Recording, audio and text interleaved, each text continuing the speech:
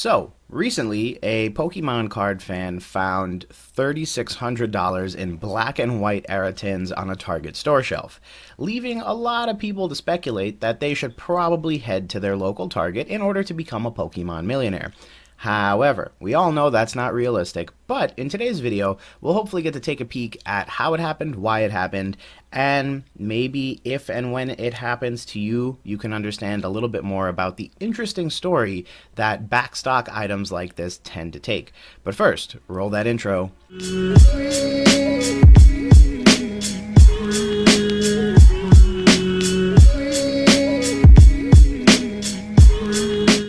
Hey Gengar Gang, what is going on?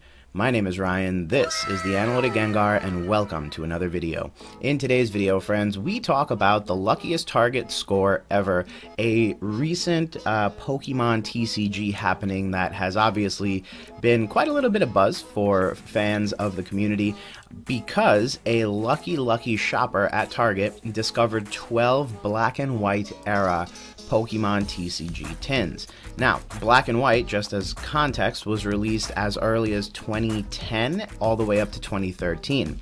So, to say the very least, that is a rare find, nearly 10 years old. And the person who scored this stuff bought these tins for MSRP, actually under MSRP, at about $18 US a piece and those tins are currently going for about $300 on the internet. So, safe to say, he made a ton of money just getting super, super lucky. Now, before we get into it, a few random channel updates. Sorry there was no video this past Saturday. That would have been, I believe, the 4th of September. I decided to take Labor Day off and never even got a chance to um, post or say anything about it, but I figured everyone's probably out and about for the weekend anyway, so it wouldn't be a bother. But as always, there will be videos consistently throughout, and I will do my very best to let you guys know if and when I choose to take a day off in between. The second thing, Jay Avila, if you're watching this video, congrats. You are the winner of the 18 code cards from the Evolving Skies opening that I did a few weeks back. Um, had some difficulty picking a comment because I, I don't know, I had like a really hard time with the comment picker, but go figure. When I finally ran it and recorded it and got it all to work, uh, Jay, you were the winner. So feel free to get in touch if you're watching today's video. I'm also going to try to let you know on the comment that I leave on the comment you left on the video. So, with all that said, let's get into today's actual video content. A article from Dexerto.com. Of course, the article will be linked down below, and if it's not, feel free to let me know because sometimes I forget these things, and I'm happy to get you the link anyway. So, as you can see, uh, here is the article itself published the 1st of September 2021, so very, very, very recently. This um, actually all transpired on Twitter, which was pretty funny because I was watching the entire thing transpire on Twitter, um, but it's actually super cool cool. So long story short, um, one collector goes into their local Target and they find, let's see, aha, they find these doohickeys right over here.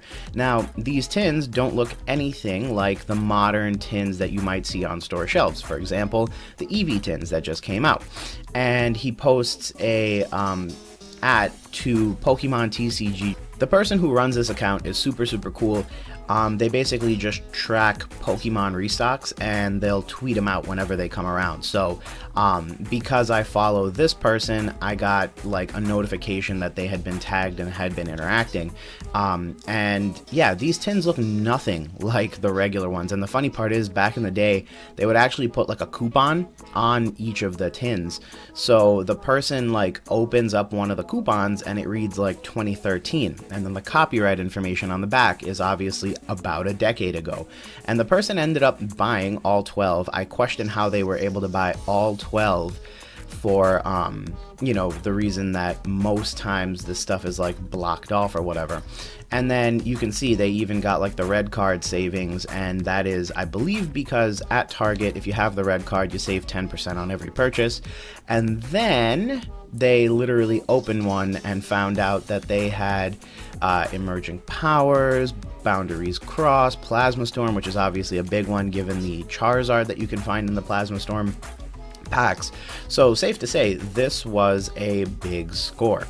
Now, Um, of course, it wouldn't be Pokemon without some toxic Twitter people, so some people were very happy for him, as you know, and some people were like, oh, it's fake, haha. Um, I believe when he posted this receipt, that obviously legitimized the entire thing. So obviously at that point it was kind of like, okay, no, this is actually legit, which is super dope. Um, but it was just funny because some people were like, oh, this is clearly a fake, and clearly it was not. So, I mean, that's the entirety of the article, but uh, today I also wanted to talk about uh, a couple other random things. So, first things first, um, Ryan's lesson for the day don't expect this to happen at your local Target. This was really cool, this was really fun, this was really interesting.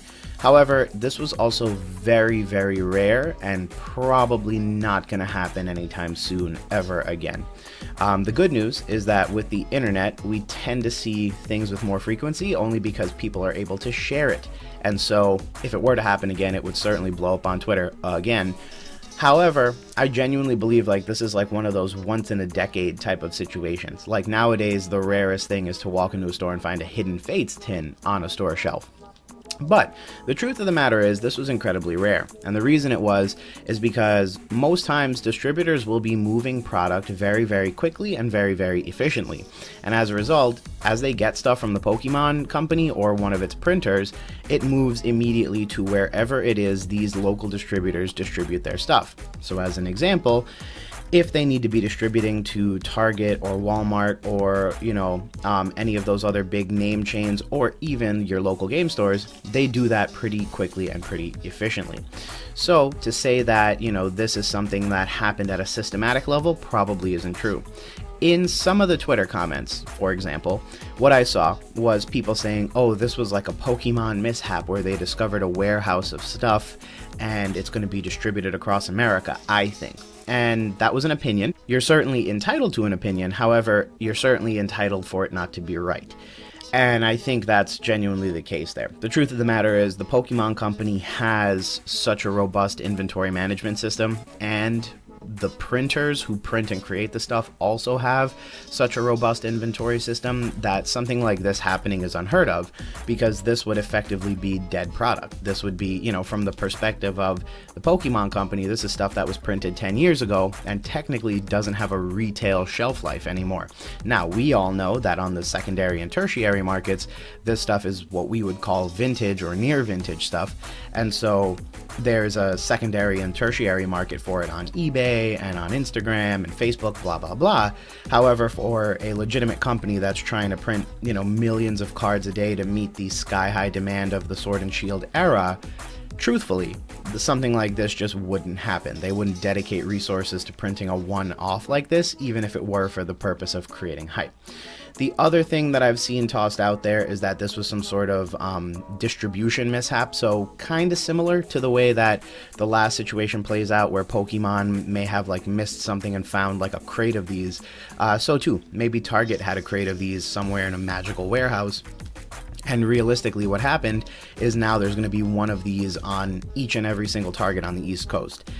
Again, highly, highly uh, unlikely, mainly because Target uses a distributor network to get their their store shelves stocked with Pokemon cards, meaning it's very unlikely that what you're going to end up with is every Target on the East Coast having some of this stuff. Now, as you see, this person was even cool enough to literally like take a picture of this stuff.